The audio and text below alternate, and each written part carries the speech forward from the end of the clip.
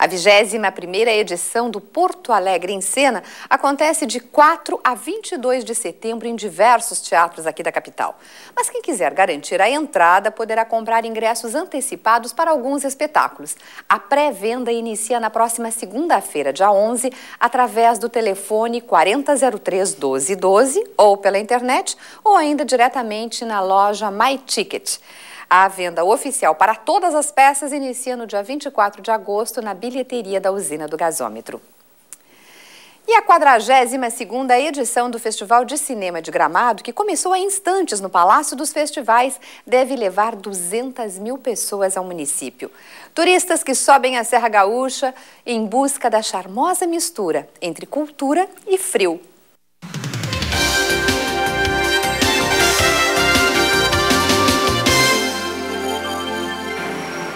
Sexta-feira foi ensolarada e fria em Gramado. Cinema e baixas temperaturas, a combinação perfeita que atrai os turistas. É um conjunto maravilhoso, frio, essa cidade maravilhosa e o festival de cinema aqui. Nós viemos com uma certa frequência Gramado, que adoramos, e pudemos conciliar o frio com o festival de cinema de Gramado. A gente aproveitou que a gente está em lua de mel, que a gente casou no dia primeiro, e viemos prestigiar o festival de cinema. A cidade está preparada para receber os visitantes que vêm para o festival. Nós nos preocupamos em ter a central, os dois pórticos de informações turísticas, né? com internet Wi-Fi, Wi-Fi na rua coberta, para o nosso cliente chegar e poder acessar, ficar à vontade. Também temos totens de atendimento. Período importante para o comércio. Na fachada deste restaurante foi colocado um tapete vermelho para entrar no clima do festival. Nós vamos ter música ao vivo, ah, alguns adesivos também caracterizando o restaurante com o festival de cinema, cardápio especial, toda a parte de atendimento de uma brigada, de equipe de trabalho, toda ela caracterizada.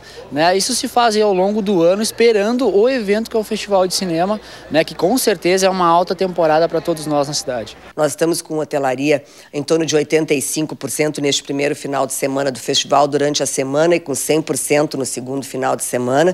Então, quer dizer, uma garantia de fluxo de público e a gente sabe que outros ainda vêm durante o dia também para ver a movimentação, vêm participar de alguma mostra e retornam, né? De algum debate, de alguma palestra. E a Fundação Cultural Piratini já tem o seu espaço junto ao Palácio dos Festivais serão 50 profissionais que vão trabalhar no evento. Reportagens vão ser exibidas nos programas Radar, Estação Cultura e nas duas edições do Jornal da TVE, além de transmissões ao vivo do Prêmio Assembleia Legislativa no dia 10 de agosto e da noite de encerramento do festival.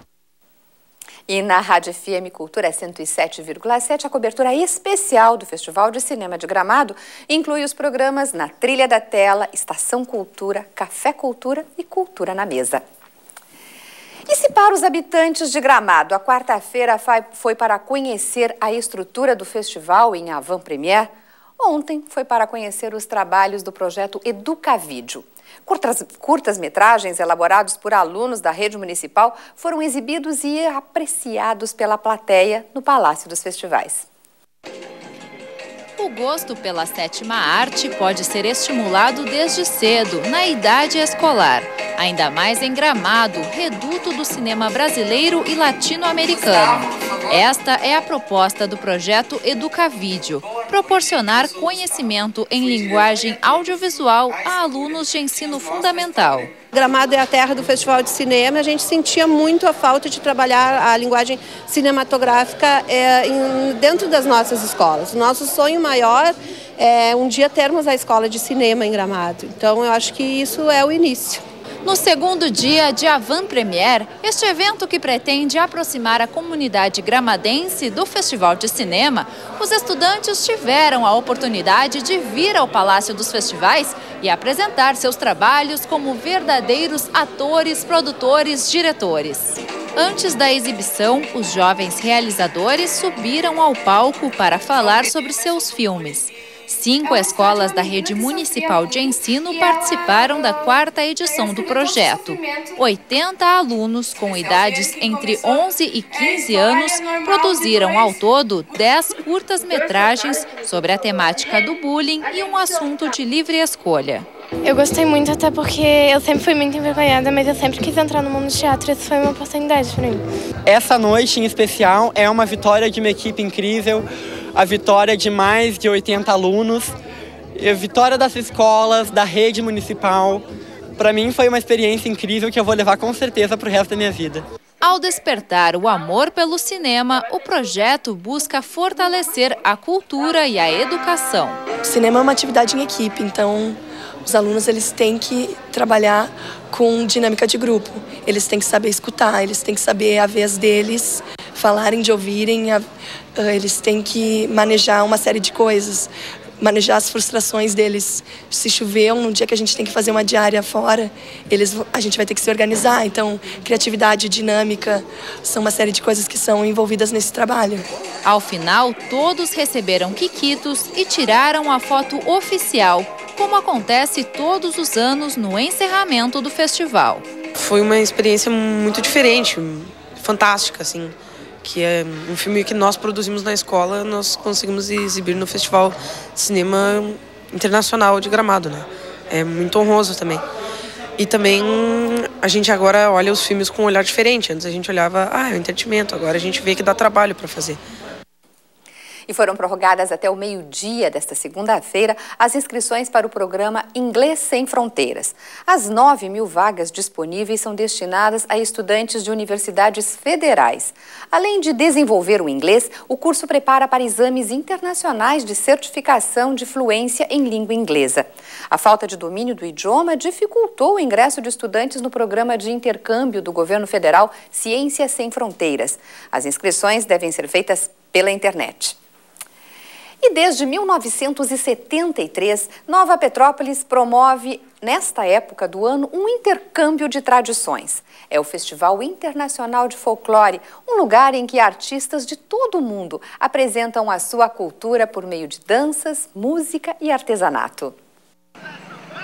Nova Petrópolis, uma cidade gaúcha colonizada por alemães e que todos os anos se abre para o mundo. Nesta edição, o festival reúne 45 grupos folclóricos. São músicos e dançarinos de oito países, nove estados brasileiros e de cidades gaúchas. Em um só lugar, uma diversidade de culturas. O lema é diversidade que nos une, né? Trazer um maior número de públicos diferentes, maior número de culturas diferentes, para a gente conhecer e entender entender por que eles são assim. Este grupo do Pará veio para a Serra Gaúcha para mostrar pouco da dança e dos trajes típicos do estado. A gente quer mostrar o ritmo, né? Que a gente tem um ritmo bem diferente, bem gostoso. A gente quer convidar também o público para dançar, experimentar um pouquinho do nosso ritmo.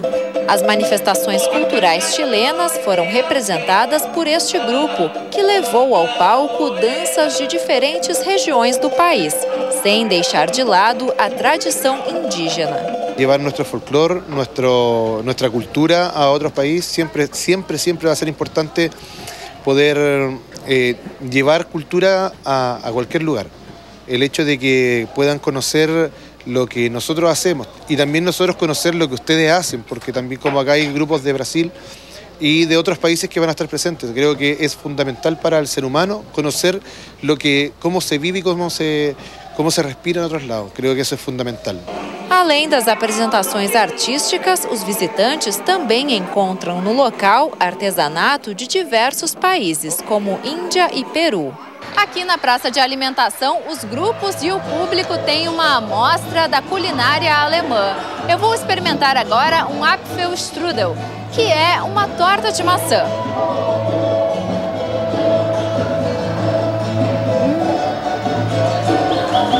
Aprovado, muito bom.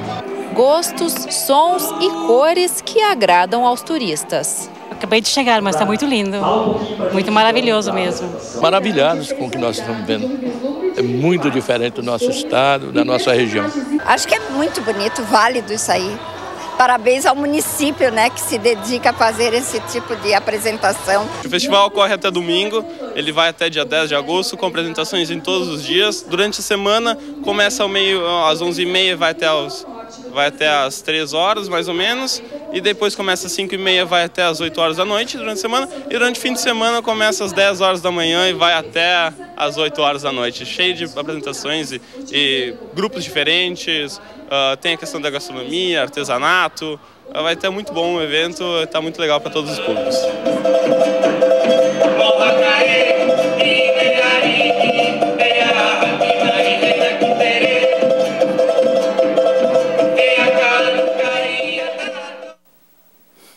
E o Jornal da TVE termina aqui. Mais informações você acompanha nesta segunda-feira no TV Notícias e no Jornal da TVE, primeira edição, meio-dia e 30. Nós voltamos na segunda, às sete e meia da noite. Uma boa noite, bom final de semana e um feliz Dia dos Pais.